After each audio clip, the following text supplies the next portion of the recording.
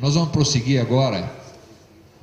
Hoje é uma atividade de lembrar os momentos da, da, da função do advogado, da importância do advogado, da importância da luta pela justiça, os advogados que passavam a tarde defendendo, segundo a Lei de Segurança Nacional, que era descumprida, e à noite, nos teatros, nos, nos, nos comitês brasileiros de anistia, passavam tentando demolir a justiça militar, as estruturas que se fundavam na segurança nacional.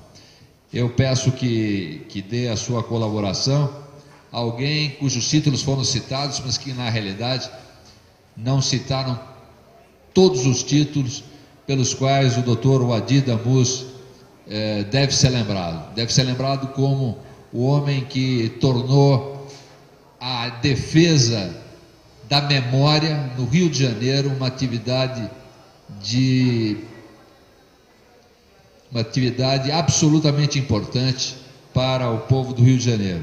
Como presidente da seccional da OAB do Rio de Janeiro, ele, ele relembrou a importância da luta pela memória, da luta pela justiça e fez, como os generosos advogados costumam fazer, da casa do advogado uma casa da vítima da perseguição política, com seus, com seus filmes, com as suas palestras, com a sua intervenção na Corte eh, Interamericana de Direitos Humanos, enfim, um personagem cujos títulos nunca serão de todo lembrados, mas vocês têm a primazia de, de vê-lo aqui pessoalmente hoje, numa deferência. Tem que ir para o Rio de Janeiro daqui a pouco. Doutor Adida Moço, por favor.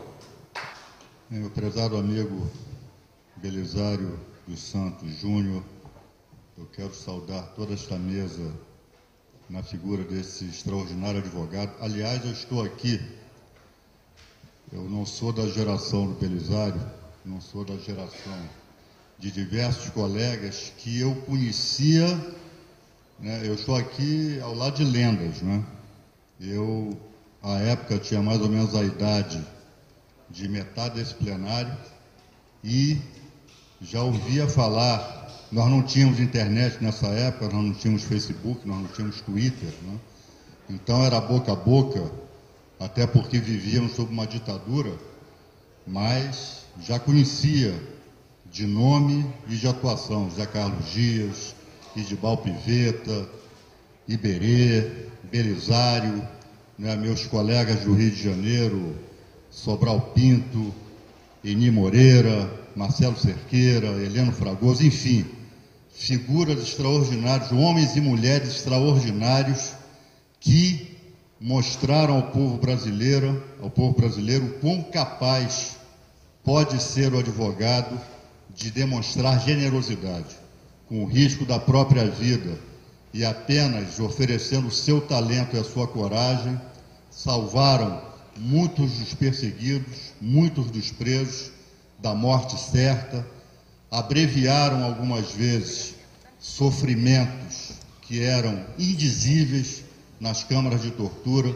Então, os advogados, esses advogados, merecem toda a nossa gratidão, merecem toda a nossa admiração e todo o elogio, toda a lembrança que nós fizermos desses tempos, da atuação desses colegas e dessas colegas, vai ser pouco porque honraram as tradições da OAB, honraram as tradições da advocacia brasileira. Hoje, depois de ter exercido dois mandatos na OAB do Rio de Janeiro, eu tenho a honra de presidir a Comissão da Verdade do Rio. É um trabalho, o trabalho das comissões da verdade, da Comissão Nacional, das comissões estaduais, das diversas comissões que começam a se criar hoje no Brasil. É um trabalho extremamente difícil, é um trabalho áspero, porque aqui nós temos ainda obstáculos que são difíceis de serem transpostos. Nós não temos, por exemplo, a colaboração dos chefes militares brasileiros no sentido de prestar as informações que deveriam prestar acerca daquele período. Temos até hoje, estamos até hoje na busca do paradeiro de diversos cidadãos brasileiros que um dia desapareceram sem deixar vestígio, e essa é uma mancha na nossa democracia. Mas as comissões da verdade não vão se deter não vão esmorecer por conta desse tipo de obstáculo. Nós saberemos contar essa história ao povo brasileiro, sobretudo às novas gerações. As novas gerações têm que saber o que aconteceu. Quando nós investigamos o passado, é com olhos no presente e com olhos no futuro. Nós não podemos aceitar uma democracia onde haja desaparecidos. Nós não podemos aceitar que numa democracia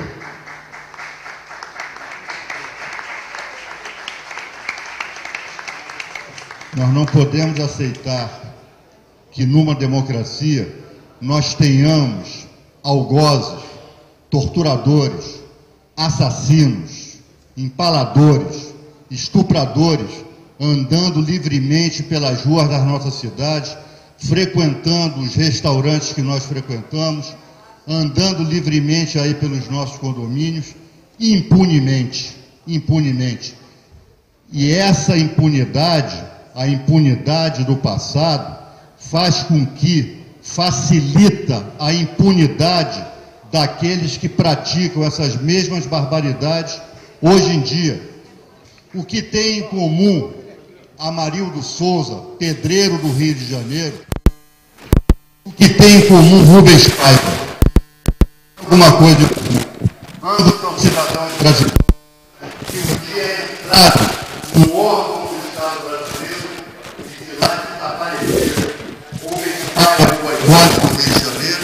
Amarildo Souza num UTP, numa favela da Rocinha, lá no Rio de Janeiro.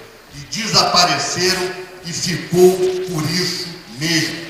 Isso é inaceitável. Em plena democracia, temos ainda cidadãos que desaparecem, simplesmente desaparecem. Isto é, isto é algo em comum que a democracia brasileira tem com a ditadura brasileira. E isso é inaceitável. Só isso já mostra o trabalho áspero e difícil das comissões da verdade. E hoje eu estou aqui em São Paulo com muita honra, com muita satisfação. Daqui a pouco nós vamos tomar um prédio que serviu a ditadura para agora servir a democracia. Essa é uma honra, é um dia histórico deles. E vocês todos aqui estão de parabéns por isso. Eu tenho acompanhado da Comissão da Verdade Rubens Paiva, esse trabalho importantíssimo que está sendo desenvolvido aqui em São Paulo e lá no Rio de Janeiro agora. Nós vamos nos próximos dias começar a ouvir, se tiver a coragem de comparecer, né? se tiver a hombridade de comparecer, os torturadores e assassinos, porque a eles está sendo assegurado hoje aquilo que eles negaram aos seus presos, aos seus prisioneiros não serão torturados, não serão supliciados, não serão espancados. A eles serão asseguradas as garantias do Estado de Direito Democrático que hoje vige aqui no Brasil.